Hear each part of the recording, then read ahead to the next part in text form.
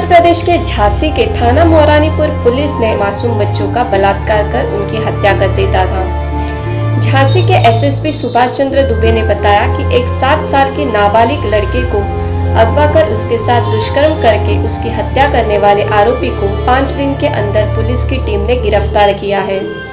आरोपी का नाम जाकिर ऑफ़ माइकल है। आरोपी ने अपना जुर्म कबूल कर लिया है।